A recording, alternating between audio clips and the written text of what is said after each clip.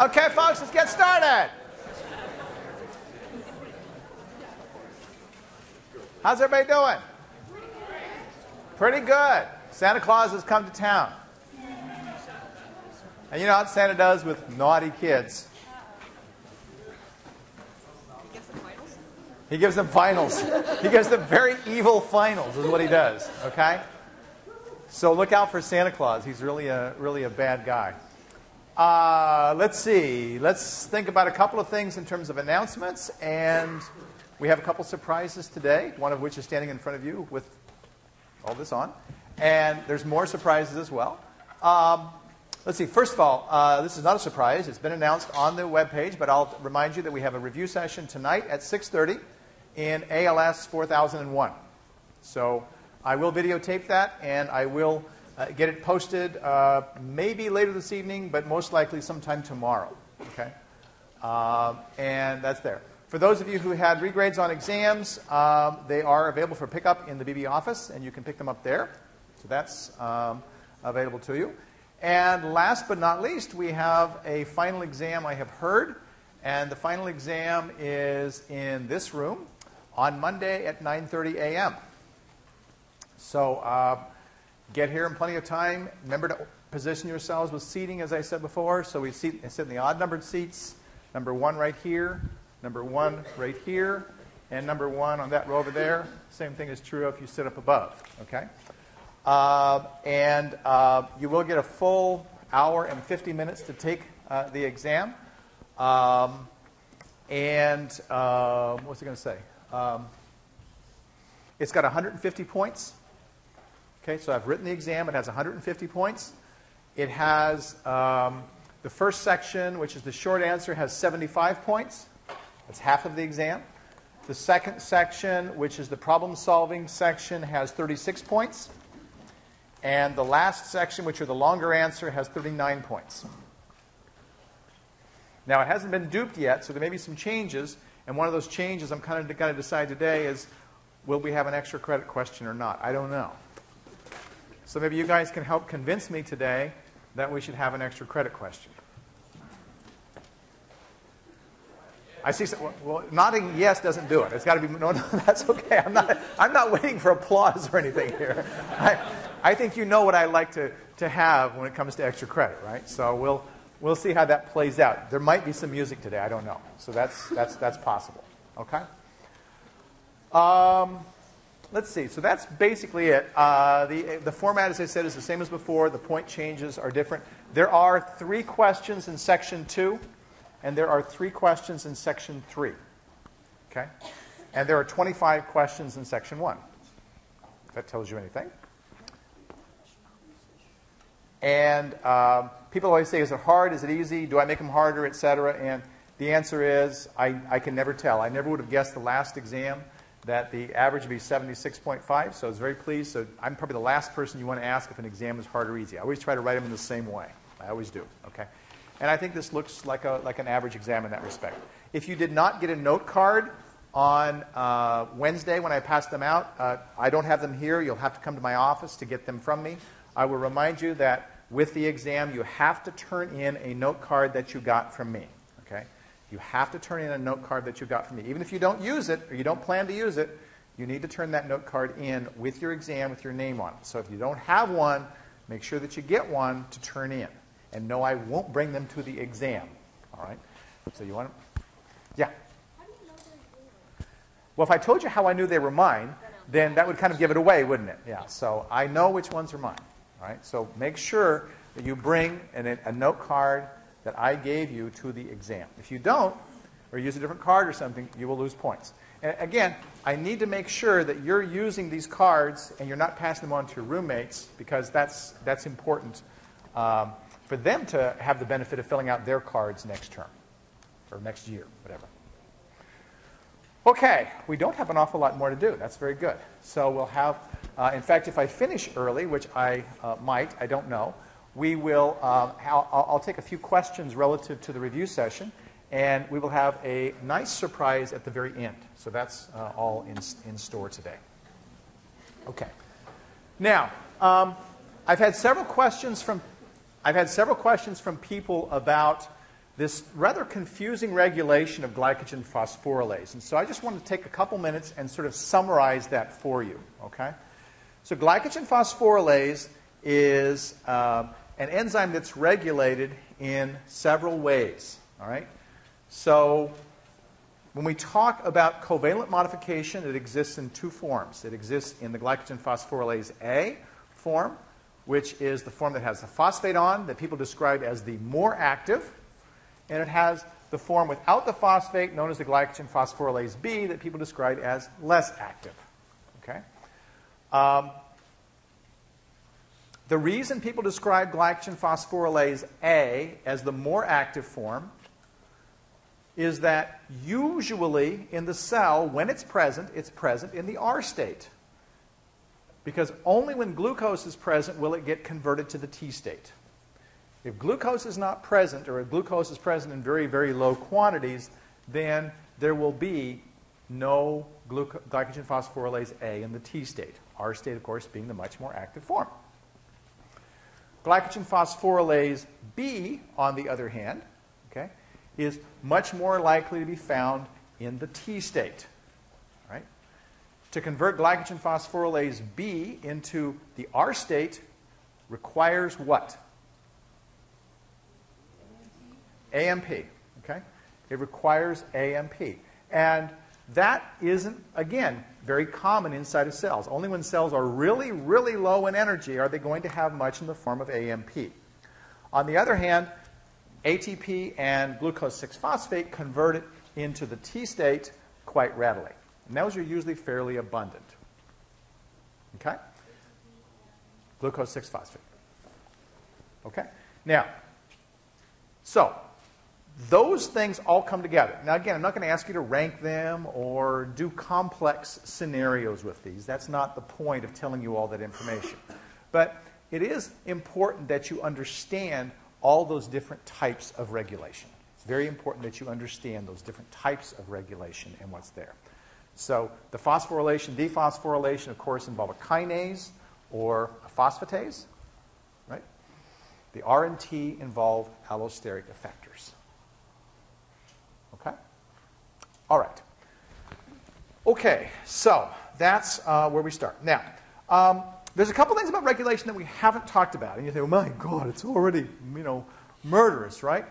Well, there's a nice organizing scheme to it. The organizing scheme that we've seen is that, in general, phosphorylation of proteins is favoring the breakdown of glycogen and the stopping of synthesis of glycogen. In general. Okay? we phosphorylate glycogen phosphorylate, we, we, first we, we phosphorylate phosphorylase kinase, what does it do? Well, it turns around, makes it active, and it phosphorylates glycogen phosphorylase B to A. What does glycogen phosphorylase A do? It breaks down glycogen. Protein kinase A can also phosphorylate. Protein kinase A can also phosphorylate glycogen synthase. That converts it into the inactive form, the synthase B, because now it can't make glycogen. That makes sense. Breakdown and making, we don't want having going on at the same time. Dephosphorylation, on the other hand, favors, okay, in general, again, these are general things. In general, dephosphorylation favors synthesis of glycogen and inhibition of glycogen breakdown. Now, lay out the schemes yourself and see that, and it will make sense, I think, to you. All right. Well, what we haven't talked about hardly at all is that dephosphorylation. And dephosphorylation has to itself be regulated, just like everything else has to be regulated, because if we don't regulate it, then everything's going to be dephosphorylated all the time, and cells aren't going to have energy like they need. Okay? So we need to think about that dephosphorylation, and that's the wrong slide. Okay? Here's what we're after. Okay. Now, what you see on the screen is a um, a scheme that shows the regulation of phosphoprotein phosphatase. That's the PP1. Okay? PP1, what we're looking at here, M stands for muscle. So what we're looking at is a scheme that exists in muscle. All right. Well, what does this tell us? It tells us, first of all, that PP1 is bound to another protein And uh, the unfortunate name is this protein is called G sub M in this case, and we'll call it G sub M. That's not a G protein.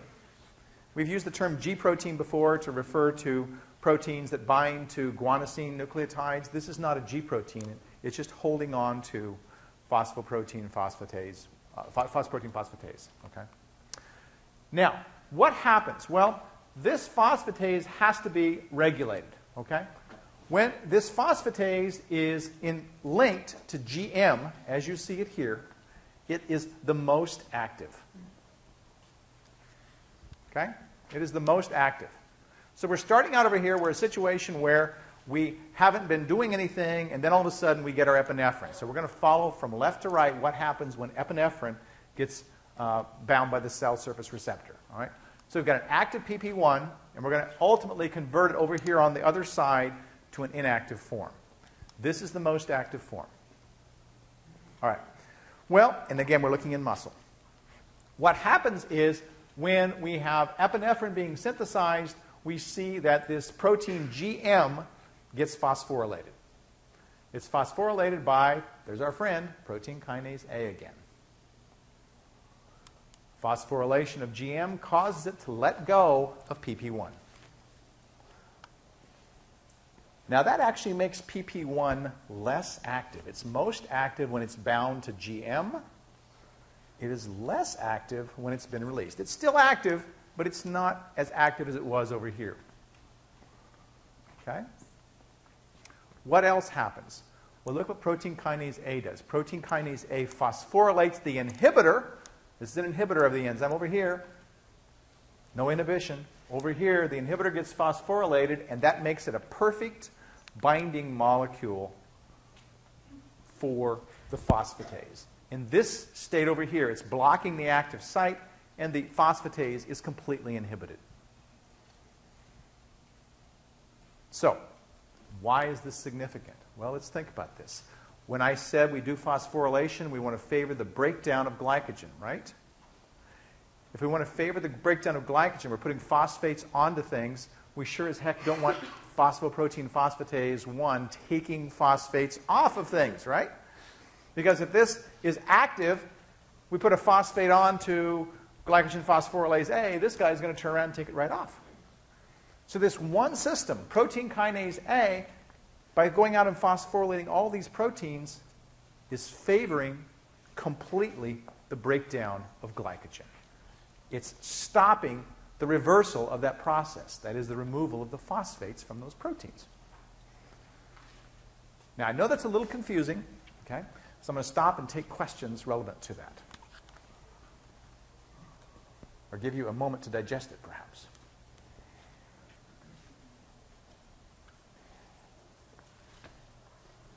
Nobody has any questions? Yeah? So this is consistent with the breakdown of glycogen, and it's stopping, that is, the reversal of that breakdown, those breakdown enzymes. Okay? Those breakdown enzymes are favored by phosphorylation. The synthesis enzymes are inhibited by phosphorylation. As long as those phosphates are sitting on those enzymes, we're going to be breaking down glycogen, and this keeps that reversal from happening. That is, the taking the phosphates off.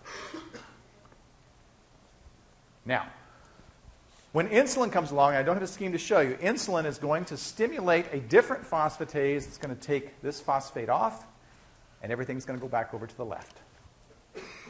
When everything goes back over to the left, you can see what's going to happen. We're going to start taking phosphates off of everything.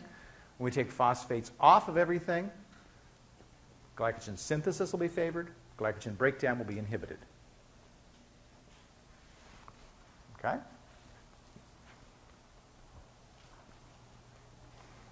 We're almost there. There's one other surprising thing that shows up. Yeah, Connie? So insulin um, moves the phosphate from the inhibitor and the GM, or just the inhibitor? Insulin doesn't do anything except stimulate processes in the cell. Remember, okay. insulin is binding to, the, to a receptor outside the cell. Insulin doesn't come in. So insulin is stimulating a process that will ultimately result in the removal of this phosphate. Yeah, this one as well. Yeah, I'm sorry. I'm sorry. Yeah, sorry, I didn't say that. But this, this phosphate as well. Sorry, maybe I misunderstood your question. Yeah. Okay, so that's pretty cool. Pretty darn cool. Now, there's one last really interesting and odd thing about glycogen metabolism, and then we'll actually be done with the regulation. All right? And that's right here. This was a really big surprise. Somebody takes out, and they're really interested in studying glycogen phosphorylase A. They're interested in studying uh, uh, glycogen synthase, and they put them in the same tube. I've got purified, pure glycogen phosphorylase. I've got pure glycogen synthase. I put them together in a tube, and I want to see what happens. I add glucose, and something very odd happens. I see that by the addition of glucose, the breakdown of glycogen phosphorylase, I'm sorry, the conversion of glycogen phosphorylase A to B occurs, and the, break, the conversion of glycogen synthase B to A occurs. What does it take to have that happen? What does it take to convert this guy to this guy or this guy to this guy? What's happening there? The first person that answers that gets a free Metabolic Melodies calendar for 2012. Are they different active sites in the same molecule? Nope. What'd you say? Dephosphorylation. Come by and get your calendar. Okay? It's, Santa Claus is here. Okay? All right. So, dephosphorylation is happening, but I only had two enzymes here. How do I get dephosphorylation? I have a free Metabolic Melodies CD for the person who answers that. What's that? One of them does what? One dephosphorylates the other? The answer is no. If anybody read ahead in their notes, they'd know. Yeah. Read the question. Say the question again. Okay. How does that dephosphorylation happen? Nobody read ahead in the notes. Oh, man. Okay? I'm going to have to tell you. You guys are going to miss a valuable. You uh, you could sell this on eBay. CD. You have you have. Does um does it synthesize glycogen using the phosphorus? Does it synthesize glycogen using the phosphorus? No, it doesn't. Okay. All right. Boy, that's I figured somebody would jump up at that one. It's actually on the next slide. Okay. It turns out glycogen phosphorylase A in the liver carries around with it, look what it's holding on to. It's actually holding on to this G in the liver that has the phosphoprotein phosphatase. All right? When this guy is in the R state, this is blocked. Nothing can get in there, and the phosphatase is inhibited. When this is in the R state, that's what happens. What does adding glucose to glycogen phosphorylase A do? It converts it to the T state. And when it converts it to the T state, look what happens. It lets go of this guy. So when it lets go of this guy, this guy is just like the one with the GM. It's completely active. And what does it start doing? It starts taking those phosphates off. Now, glycogen phosphorylase A gets converted to glycogen phosphorylase B. Glycogen synthase B gets converted to glycogen synthase A, all by dephosphorylation. That's pretty darn cool, right? Now, why is that important? Why is that important that this thing carries this thing around with it? Any thoughts about that? Should I put a CD out for that? There's a very important reason why this guy carries this around. Your book actually talks about it. Nobody's read the book. This is quiet as a class been all term. All right. So why why are cells breaking down glycogen? Why are they doing this? They need energy. And why do they what's their typical needs for energy? Quick. Quick. Running from the grizzly bear, right? Or the teacher that has, is wearing a hat. That's right. Either, either way. Okay? I want this quick, which means I want to break things down quick. And what did we learn earlier in the term about enzymes with respect to speed? They work very fast. Yes, okay, that's good. What else did we learn? What did I say about driving your Maserati to Fred Meyer? You got to control them, right? If you turn something on and it's really powerful and it's going to break things down really quickly, don't you want to be able to turn it off really quick? Carrying this, carrying around its own inhibitor is the most efficient way that it can turn itself off really quick. Now, notice this happens in the liver. This is happening in the liver. The liver is producing what? What's one of the things that the liver produces that only one other tissue produces? Glucose. Okay? So let's think what the, what the liver is doing. The liver is sitting there. This guy is dumping epinephrine. It's making, I'm, I'm sorry, is, is, yeah, is, um, I've got to get it right now. He's, he's uh, making epinephrine. So two things are happening. One is glucose, one phosphate is being produced by the breakdown of glycogen. The other thing that's happening is gluconeogenesis is being stimulated. Both of those converge in the synthesis of glucose. One's a breakdown, one's a synthesis process, but they're both producing the same thing, which is glucose. What's the liver doing with that glucose? Where's the, where's the glucose going? Exporting. It's exporting. It's dumping out of the liver into the bloodstream. And what's happening when it gets in the bloodstream? It goes to tissues that need it. And when I stop exercising, my tissues don't need it. What happens? Blood glucose levels start going up, right? Do I want my blood glucose levels to go up? No. So when my blood glucose levels go up, what starts happening to my liver's ability to push out glucose? I don't want to push out anymore, right? So now the liver stops pushing out glucose, and what happens to the concentration of glucose in the liver cell? Up. And that's what we see right here. This stops the liver from making too much glucose, and it stops it very, very quickly. Glucose is a poison. We're avoiding the poison with this very, very rapid control that we've got here. It's a very, very important point. Okay? Everybody understand what I've just told you? So being able to carry around its own off switch allows this guy to merrily go along its way, cutting through that glycogen like butter. But once this starts to accumulate, it literally gets turned off by the very thing that it's carrying, that phosphatase. The phosphatase, in turn, activates glycogen synthase, and what's that going to do with the glucose? It's going to make it into glycogen ultimately, right? And what's that going to happen to the concentration of glucose in the cell? It's going to fall. We've just reduced the amount of poison. Okay? Makes sense? Clear as mud? Yes, sir. Clear as mud. You ever notice how you get the end of the term and your voice starts going up? Mine does. I don't know.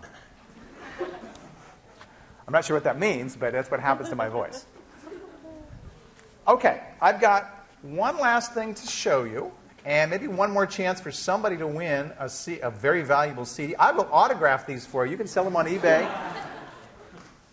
I, you know, you don't know how much you might make from your knowledge here. Okay, so knowledge is power. Knowledge may be money. So you might meet some exciting people from having these things too. You never. Hey, come over to my house. We can listen, right? Or come watch me turn the page of the calendar over. That's what you're going to say, right? So okay. Um, glycogen storage disease, all right? So when we think about enzymes and we think about metabolism and we think about reactions, we always think about, well, what happens when things don't work? What happens when we have problems? Well, it turns out that there are a variety of what are called glycogen storage diseases. And these diseases arise as a result of deficiency of certain enzymes, either in that pathway or related to that pathway. Okay? So um, there are several of these. Von Gierke's disease, uh, they, this one lacks glucose 6 phosphatase and affects liver and kidney. And what happens to the glycogen? Well, it's got an increased amount of glycogen, but it has a normal structure. Well, that sort of makes sense because this doesn't build glycogen. It's involved in doing other things. What's this guy involved in doing? Anybody remember? Nobody's going to say until I say, well, how about a CD, right? gluconeogenesis, that's right. Okay? So, gluconeogenesis can affect glycogen metabolism. All right? So, we may see some problems arising from that. Here's Pompe's disease it's lacking alpha 1 4 glucosidase. Okay? And oh, my, this is not going here. Uh, the one I want to talk about, and the one I think is the most interesting, is actually McArdle's disease. Gesundheit. Wow. Uh, it's, it's a deficiency of glycogen phosphorylase. Now, you think about this and you think, how can a person be deficient in glycogen phosphorylase and be alive? Right? Well, it turns out that this uh, disease is um, makes it's possible for a person to be alive by virtue of the fact that it only affects muscle cells. That is, only the muscle cells are lacking the glycogen phosphorylase. All right? Lacking glycogen phosphorylase, what happens when we look at the glycogen there? It's got moderately increased amount, not surprising because this is what breaks glycogen down. It's got a relatively normal structure, meaning we've got branching enzyme and all that other stuff that's there. Okay? But what's surprising is it has fairly limited effects. Limited ability to perform strenuous exercise because of painful muscle cramps. Otherwise, patient is normal and well developed. A person lacking glycogen phosphorylase in their muscle loses ability to do strenuous exercise, but that's the main thing. If we look at what happens with the thing, here's, here's a, a plot of the concentration of ADP, that's what we get from the breakdown of ATP, okay, uh, for a person who has uh, McArdle's disease, all right, and uh, this person is doing, this, this is a person who doesn't have McArdle's disease, this person has McArdle's disease. Look at the levels of ADP. You rest, your levels are low, you do some exercise, your ADP levels stay fairly constant. The person with McArdle's disease sees ADP levels go high, and then it falls, meaning that the cells are catching up and making ATP. Now, for that last chance at a CD, my question to you is what's making this possible? It's something we learned during the term. Something we learned, a very important process, I'll give you a hint, a very important process we learned during the term that allows these people who have this disease to lead a fairly normal life. Any guesses? Yes? Is that going to be fermentation resulting in lactate? Is that going to be fermentation resulting in lactate? It could be slightly, but no, that's not the right answer. Uh, it's the Cori cycle. Right. What does the Cori cycle do? The liver has a normal enzyme, right? And so when the muscles start running out of energy, what happens? Oh, wow, we need some glucose. They can't get glucose from breaking down of glycogen, but the liver sure as heck can do that, and the Cori cycle kicks in. Okay? So, in essence, it's a, a backwards thing to the lactate that you talked about, but it's the fact that the phosphorylase in the liver is perfectly normal. That makes sense? You guys look like you're ready for the surprise or something. Okay, yes, sir. Is this something that's easily diagnosed? I think it'd be fairly easily diagnosed. I'm not a physician, so I don't know. I, I, would think it'd be fairly easy to diagnose because it would manifest itself pretty readily in the fact that you're really just, you know, as, as a kid, you're going to have problem with exercise and you're just worn out with this. So, yeah, I think it would be fairly easy to, to detect that. Other questions? I need to look in the back of the room and see if my surprises are ready yet or not. Are the surprises ready? Are, are the surprises ready? Oh, okay. Are you ready for a surprise? Okay, at this point, you can put your pens down and your pencils down because we're not going to do anything more that's going to be on the exam. It'll be fun. And if you really don't want to hear some bad singing, you can leave also. So I, I will tell you that. There's going to be some singing. Well, this is a little bit different singing than you've heard before, okay? So, um, you guys know I like the Beatles. I write a lot of stuff to Beatles music, and, you know, the Beatles were like this, but I really think they should have been like this, you know? I mean, if this were an ideal world, that's what it would have looked like, you know? They may not have sold as many of billions of records as they did, but anyway. So, as I was putting this together, I sat and I thought about, you know, the Beatles and so forth. And then I thought, you know, that's really odd. You know, there's, there's all these things out there that relate to music that involve the letter B. Okay? So the Beatles, I mean, they were, wow, what awesome things. And you guys aren't old enough, but what succeeded the Beatles was this group called the Bee Gees. Anybody hear the Bee Gees? Oh, you heard of the Bee Gees? Okay. So, night fever, night fever, right? Okay. So, Anyway, and what succeeded the Bee Gees was a really important group known as, right? The Backstreet Boy. What a group, huh? And of course, what succeeded them, we know, of course, was, um, yeah, low moment in music, I think. But if you thought you've seen low moments in music, you ain't seen nothing yet. Let me introduce the next bees that are going to turn the music world upside down. They're the biocomical choir. Please come down. I have some people to help me sing today, so they're going to drown me out. Yes, applause is appropriate. Yes, thank you. Thank you.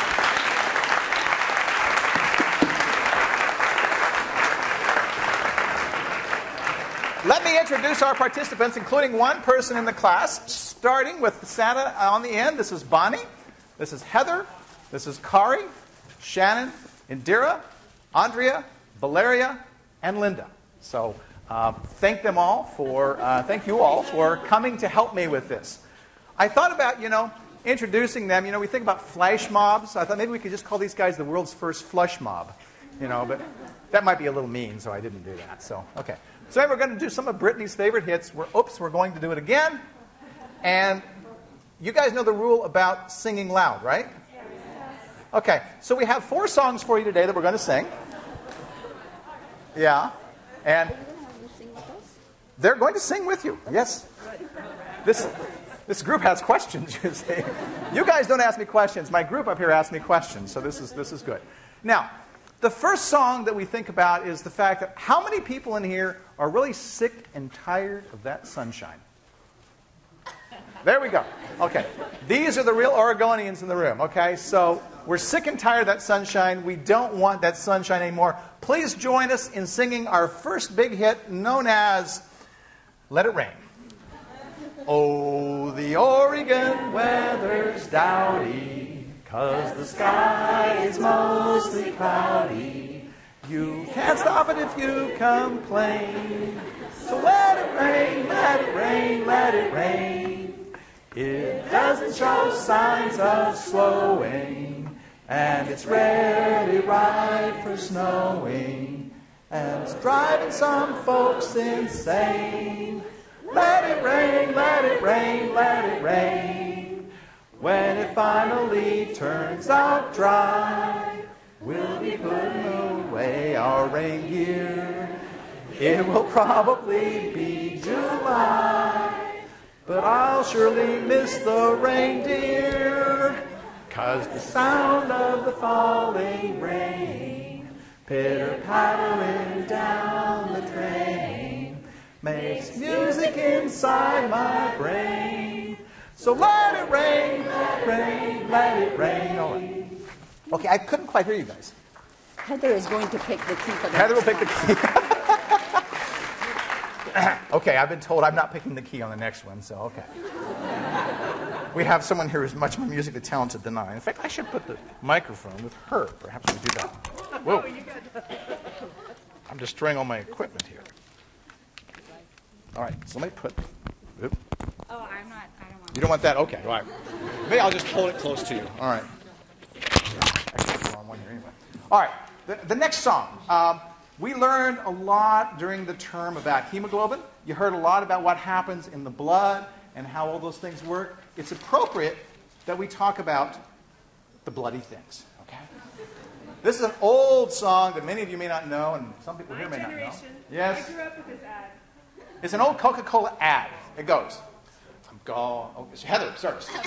Let's put some oxygen beside my porphyrin rings to nudge the irons up a notch and yank on histidines.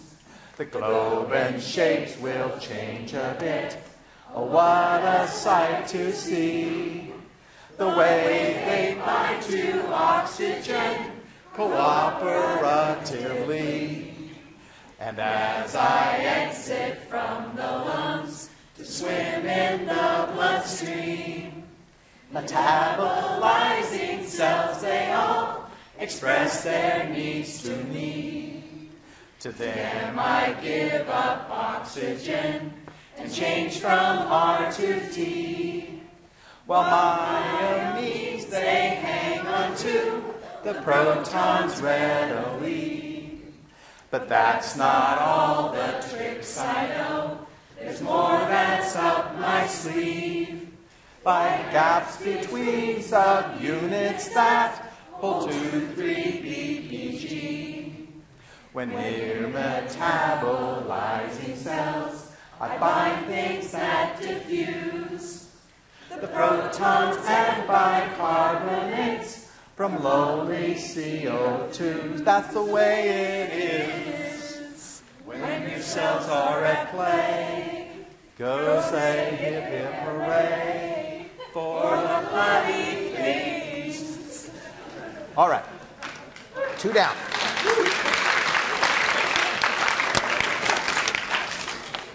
Okay.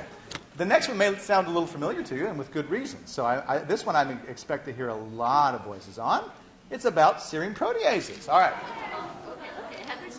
Heather, start us. Go, go for it, Heather. All soon. Proteases work almost identically, losing amino acids triacetalytically. First they peptide substrates, holding on to them so tight, changing their structure when they give them in the S1 site. Then there are electron shifts at the active site. Serine gives up its proton as the reaction goes on.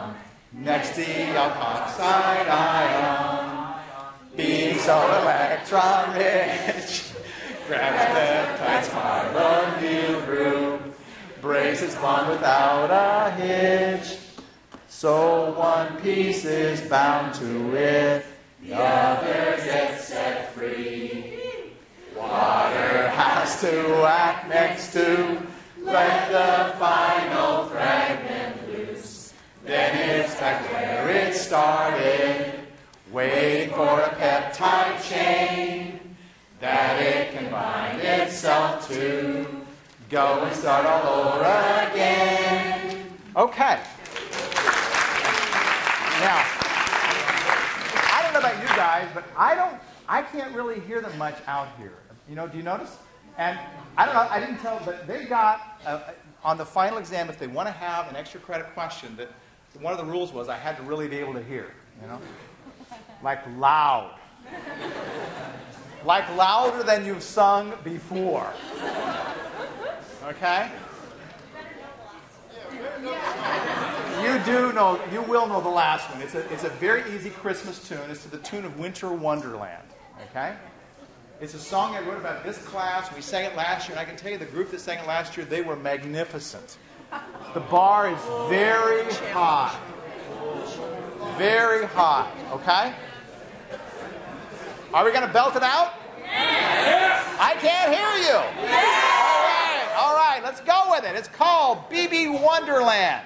Heather, take us. No, we're all starting. All right, ready? Okay, one and a two, Two and and a. Milam Hall, it's 12:30, and Ahern's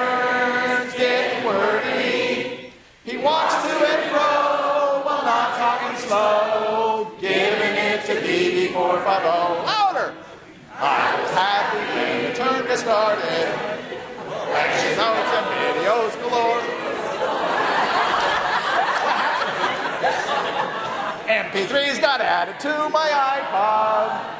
But sometimes, sometimes we're a bore, and exams get me healthy when the curve. I don't think it's so. My scores are too low. Sliding by BB450.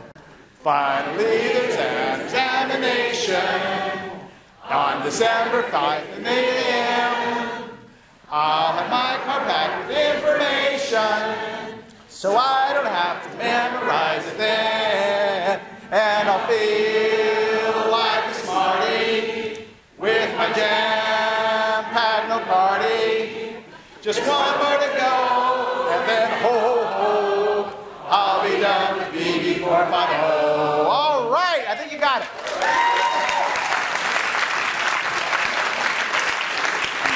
Thank you, thank you, thank you. See you on Monday, if not sooner. Thanks, guys.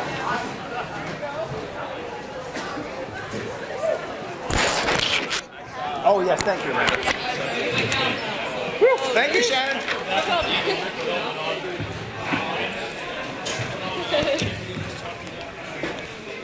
If, if you're too crowded for the final and I don't get a chance to say it, I hope you have a great holiday. Thank you. And I will see you next week. Thank you. Indeed. You too. I thought it was okay if I Study hard, okay? It goes without saying. How you doing? Uh, they're back in my office. So come back and sit in my office. Okay. going? Uh, I'm going there in a minute. Yeah, I gotta take everything down. But yeah.